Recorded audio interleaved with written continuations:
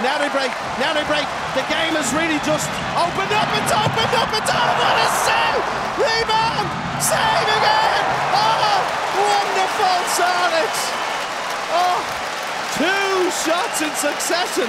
The chance for Kielce to take the lead. What was Strlek doing with the little flicker?